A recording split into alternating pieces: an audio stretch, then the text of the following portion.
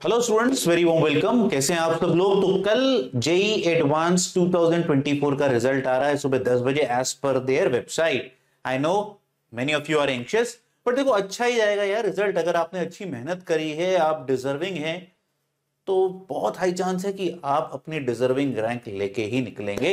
And best wishes in advance अच्छा result आएगा, घबराने की ज़रूरत नहीं है। ना आराम से आज रात को काम कंपोज ज़्यादा एंग्जाइटी नहीं रखनी है। और मैं बार बार बोल रहा हूँ, अगर नहीं भी होता है, कोई भी एक result can not determine your position your calibre your success story ठीक है?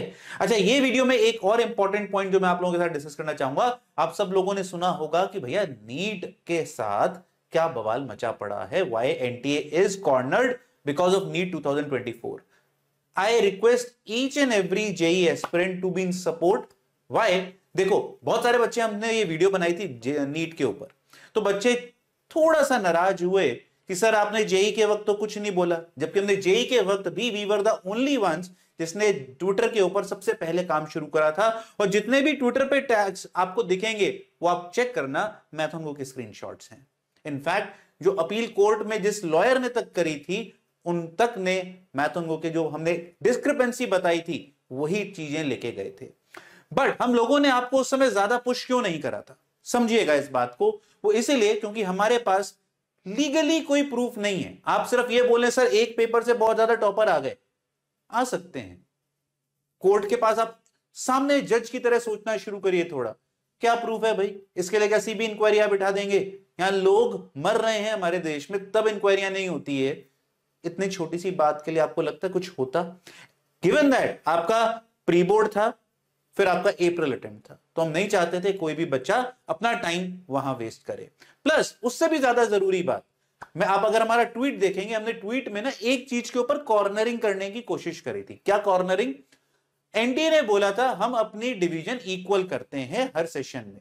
जबकि वो फ्लॉड दिख रही थी, क्यों? क्योंकि हर बच्चा जो रिपोर्ट कर रहा था, वो कह रहा था 27 जनवरी में ऑलमोस्ट 30 परसेंट बच्चा बैठा है बट एनटीए ने इसी बात को बोला गलत और उन्होंने डेटा दिया कि भाई हमने तो इस इस तरह से सेशन में बच्चों को बैठाया। अगर वो बात गलत होती तो आप एनटीए के ऊपर लीगल केस कर सकते थे कि भाई आपने जब ब्रोशर में लिखा था कि हम एक प्रोपोर्शनल लेवल पे बच्चों को बैठाएँगे, ये डिस्प्रोपोर्शनल अमाउंट एक सेशन में क्यों बैठा, ये एक लीगल वैलिड पॉइंट है। अब की बार क्या गलती हुई है? And why NEET is creating so much हंगामा? अरे भैया 718 719 नंबर दिए है। ना कमाल की बात?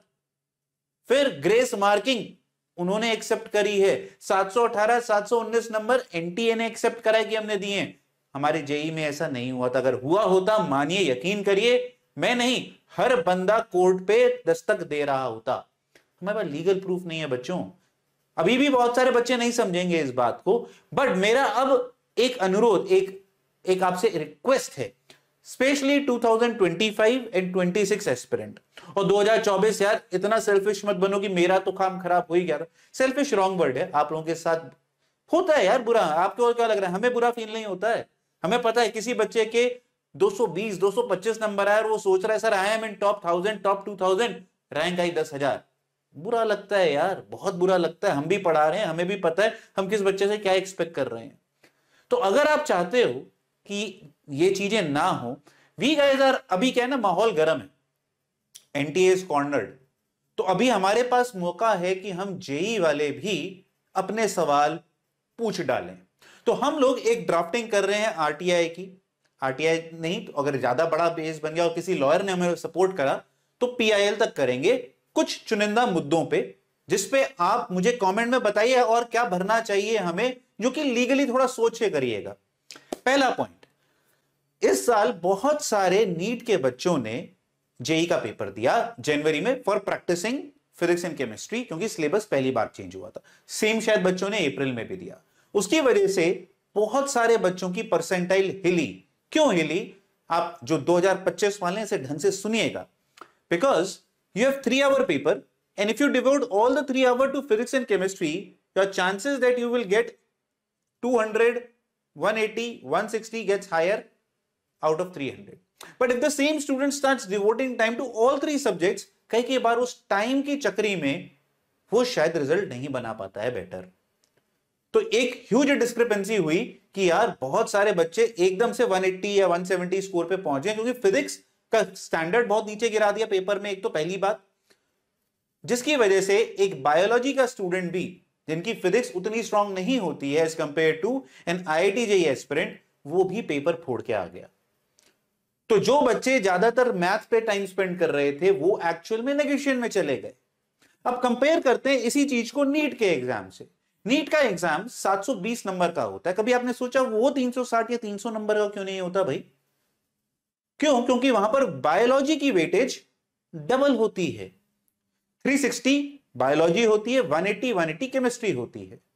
अरे भाई, जब बायो को आपने इतनी इंपॉर्टेंस दी है तो आप मैथ्स को इंजीनियरिंग वालों के लिए इतनी इंपॉर्टेंस क्यों नहीं देते? जिससे ये जो क्रॉस हुआ इस बार कि भैया बायो वालों ने पेपर दिया, वो शायद, एक बात ये भी है सोचने की, बहुत सारे पढ़े लिखे लोग हमें ये बोलेंगे कि यार वो तो लेंगे नहीं ना admission and percentile will take care of it but do you understand the mental damage एक हैरेसमेंट होती है, जब जनवरी का रिज़ल्ट आता है ना कि भाई साहब 180 नंबर पे जहाँ बोलते थे 99 परसेंटाइल आती है वो उस पे इस बार बच्चे को 96 परसेंटाइल भी नहीं मिली है।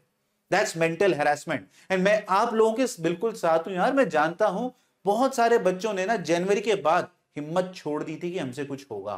दे वर दैट डिमोटिवेटेड तो अगर मैं प्रैक्टिकल होकर बात करूँ, मैं पहली एक आरटीआई इस पे या सजेशन कॉर्नर करना चाहता हूँ कि अगर आप इसको रोकना चाहते हैं, हम एक इंजीनियरिंग कम्युनिटी को बचाना चाहते हैं मुझे यह लगता है और मेरा ये ओपिनियन है, मैं आपसे समझना चाहूँगा, मुझे कमेंट में सपोर्ट करना अगेंस्ट जाना वो आपके ऊपर है। मुझे लगता है इसको रोकने का एक ही तरीका है कि आप भी मैथ की वेटेज डबल करें, जिससे जो बच्चे लिटरली मैथ्स के लिए प्रिपरेशन करें और मैथ्स ही एक ऐसा सब्जेक्ट बचा है जेई मेन्स में, जो अभी टफ है। फिजिक्स केमिस्ट्री अभी भी ट्रिकी हो सकते हैं, पर अभी भी बहुत आसान है। आपको ये कैसी लगा सुझाव, मुझे ज़रूर बताइएगा। बिकॉज़ पेपर को यार बराबरी पे रखना है। नीट में तो आपने टू एक्स वेटेज कर दी है बायो की तो जेई में भी तो कर सकते हैं ना? क्या मेरी सोच सही है? आप मुझे बताएँगे। दूसरा मुद्दा जो मुझे लगता है, जो हमें बहुत क्लैरिटी से अभी पूछ लेना चाहिए। अब जैसे हम भी पढ़ा रहे हैं बच्चों को तो अब एक डाउट आता है, सर, हम लोग ये चैप्टर पढ़ें या ना पढ़ें? 2025 वालों के लिए। सर ये एडवांस के सिलेबस में तो है जे मीन के सिलेबस में नहीं है। अरे भाई, आप क्लैरिटी क्यों नहीं दे देते हैं कि इस साल हमें क्या प्रिपेयर करना है? अगर आप जे एडवांस में पूछेंगे तो हटाने का सेंस था क्या? You have deleted that chapter? Because every student inevitably will be studying that. कोई एडवांस का एग्ज़ाम एक साल बाद तो नहीं हो रहा कि उस चैप्टर को जेई मेंस की एलिजिबिलिटी के बाद बच्चा प्रिपेयर करेगा कि हाँ उसकी डेढ़ लाख के या ढाई लाख के अंदर रैंक आ गई है। तो आप और कितना समय लेंगे? अब तो पहले दिन से इंफॉर्म्ड होना चाहिए that what will be the new syllabus whether you have to do it और you have to omit it तीसरा अच्छा इस पे भी मुझे कमेंट बता दीजिएगा कि आपको क्या लगता है, सही बात है या गलत बात है? तीसरा, अरे भाई, आप अगर डिलीटेड पोर्शन से इस साल, जैसे कि system of linear equation determinant में एक टॉपिक है, हटा दिया गया। पर भर भर के सवाल आए दोनों शिफ्ट्स में मतलब जनवरी सेशन में भी अप्रैल सेशन में भी। आप सोच लो ना, जल्दबाजी करने की क्या ज़रूरत है? आप डाल दीजिए, हम एक टॉपिक और पढ़ने में हमारा कुछ नहीं जाएगा। हम वैसे भी जो आपका पहले बड़ा सिलेबस था, वो पढ़ ही रहे थे। आपने अगर ये सोच के करा था कि हमारे ऊपर प्रेशर कम हो जाता है, यार प्रेशर कम नहीं होता है प्रेशर बढ़ जाता है जब आप आधे सेशन में सडनली सिलेबस चेंज कर देते हैं। बच्चे को प्रॉब्लम पढ़ाई से ज़्यादा उसमें अनसर्टेनिटी की वजह से होती है। जब आप बीच में ही कुछ ना कुछ बदलाव कर देते हैं, तब बच्चा कंफ्यूज होता है टाइम वेस्ट करता है, दस जगह पूछता है, क्या करना चाहिए, कितना करना चाहिए। वो बचा लीजिए ना टाइम बच्चे का। तो मुझे अभी तीन ये पॉइंट जेई के पर्सपेक्टिव से लगता है जो हमें एज अ कम्युनिटी पूछना चाहिए। आपके कमेंट के बेसिस पे हम एक गूगल फॉर्म भरेंगे। आफ्टर दिस जो उसको हम ऐड करेंगे। आज अभी गूगल फॉर्म नहीं पूछ रहा हूँ बट आपके कमेंट्स को हम रीड करेंगे, देखेंगे क्या हमारी जो सोच है, वो आपके साथ सिंक होती है, यह सिर्फ़ हमारा ही ओपिनियन है यार। ओपिनियन देने में क्या जाता है? सबका मन कर सकता है कुछ भी बोलने का। बट हमें लगता है, अगर आप सपोर्ट देंगे तो हम आपके हर उस चीज़ को एक गूगल फॉर्म की कॉन्सेंट फॉर्म बनाएँगे और उसको पिटिशन में फ़ाइल करेंगे कि भाई, बच्चों को ये लगा, ये गलत हुआ था। This should system should be improved plus अभी बहुत सारी ऐसी बातें हैं, जैसे कि रिज़ल्ट का अपने दिन पे नहीं आना डिले होना, रात को दो बजे रिज़ल्ट देना, बच्चों को एंशियस रखना। है भाई आप इतना बड़ा एग्ज़ाम करते हैं फ्री में नहीं करते हैं आप। आप पैसे लेते हैं बच्चे से। पर पूरे पूरे पैसे लिए जाते हैं। तो at least be punctual be on time otherwise there is no point of creating a body which can conduct the exam क्यों मेरी इतनी बड़ी बॉडी बनाई है कि वो सारे ही पेपर लेगा वो नीट का भी जेई का भी वो दुनिया में जितने इंडिया में पेपर हो रहे हैं उसके सब बॉडी एक ही है। अगर आपसे नहीं हैंडल हो रहा आप बॉडीज को डिफ्रेंशिएट करिए। क्यों इतनी बड़ी बॉडी बनानी है कि जिसके ऊपर बहुत कम लोग हैं? वो कहते हैं कि हम तो बहुत प्रेशर में इतना काम होता है। तो भाई आप बड़े कर दीजिए ना। वैसे देश में बहुत ज़्यादा अनएम्प्लॉयमेंट है। और लोगों एम्प्लॉय कर लीजिए अगर आपको लगता है आपके पास लोग नहीं है। तो मुद्दे तो बहुत हैं but let's stick to the point क्योंकि अगर मैं भटकूँगा, दिशाहीन हो जाऊँगा तो कोर्ट हमसे ही पूछ लेगा, यार तुम बालक हो, बालक रहो। हमें मत बताओ देश को कैसे गवर्न करना है। हम उस मुद्दे पर नहीं घुसना चाहते। लेट्स टू द पॉइंट एक जेन्युइन बात रखते हैं जिसमें हर कोई हमें सपोर्ट तो करे। नीट में बायो की टू एक्स वेटेज चैप्टर बहुत ज़्यादा नहीं है। आप चैप्टर लिस्ट उठा के देखो, ऐसा नहीं है कि बायोलॉजी में अगर हम बात करें बॉटनी जूलॉजी की तो बॉटनी में बत्तीस चैप्टर है और जूलॉजी में बत्तीस चैप्टर है इलेवंथ और ट्वेल्थ में लाके है ना? नहीं है ना ऐसा? तो वहाँ टू एक्स वेटेज है। तो यहाँ भी तो होनी चाहिए। भाई वो कहते हैं बॉटनी और जूलॉजी है। अरे भाई, हमारे पास यहाँ कैलकुलस और एल्जेब्रा है, इतनी बड़ी बड़ी है ना? हम भी तो ऐसे डिवीज़न कर सकते हैं। But having said that again मैं बोलता हूँ, ये मेरा ओपिनियन है जो मुझे लगता है, जहाँ पर इस साल बच्चों को बहुत ज़्यादा घाटा हुआ, वो यही था कि जब 24 लाख बच्चे मेडिकल के आए तो for a mock scenario drill practice वो सारे के सारे जनवरी के एग्ज़ाम में बैठ गए। और जब आप तीन घंटे सिर्फ़ दो सब्जेक्ट को दोगे जिसका लेवल इतना खराब है तो यार क्या ही कहना। एक अनुरोध तो ये भी कर सकते हैं कि भैया थोड़ा सा पेपर का ज़रूर लेवल फिजिक्स और फिजिक्स में स्पेशली बिल्कुल यार 2019 जैसा तो लेके आइए। इतना भी मत गिराइए कि जहाँ हम प्रिपेयर करते हैं एडवांस के लिए इतना हाई आप जेई मेंस में इतना लाते हैं। बट अगेन इसमें हमारी कोई सेइंग नहीं है। क्यों? यार, ये तो पेपर सेटर बनाने वालों का काम है।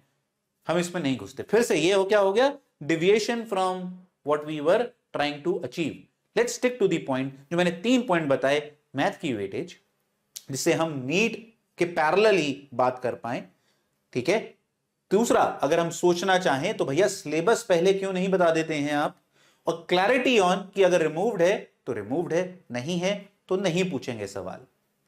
मुझे कमेंट बॉक्स में इन तीन मुद्दों के ऊपर ज़रूर सपोर्ट चाहिए आपका 2025 वालों का 2026 वालों का, और 2024 वाले बच्चे जो बिल्कुल गर्म बैठे हैं कि, सर, आपने हमें उस समय तो सपोर्ट करा नहीं था। करा था, आपको बचाया था, ये टारगेट था। अब हमारे पास मौका है हम अपना पक्ष आगे रख सकते हैं और एनटीए को इस बात के लिए मजबूर कर सकते हैं कि इसके लिए भी काम करा जाए। अभी माहौल गर्म है, हथौड़ा मार दीजिए, जैसे कहावत बोला जाता है, उन्होंने की गलती पकड़ी गई है। हमारे केस में कोई गलती थी नहीं। थी नहीं का मतलब प्रूवन गलती नहीं थी। गलती तो बहुत अभी भी है यार, हमें भी पता है क्वेश्चंस गलत हैं अभी भी। In fact we can at that point as well कि यार क्वेश्चन गलत होते हैं, उनके आंसर की भी चेंज नहीं होती है। कितना टाइम वेस्ट होता है एक गलत क्वेश्चन के ऊपर काम करने में प्लस और वो हर बच्चे के लिए उसका टाइम अलग होता है। देखो, ऐसे हम बात करेंगे ना, अनगिनत पॉइंट्स हैं। बट वो पॉइंट पे बात करते हैं जहाँ पर अभी मुझे लगता है मामले पे काम करा जा सकता है। तो let me know the comment section and best wishes for the JEE advance result हमें लगता है आप फोड़ के आए हैं पेपर रिज़ल्ट भी बढ़िया आएगा। Best wishes glorious year ahead bye bye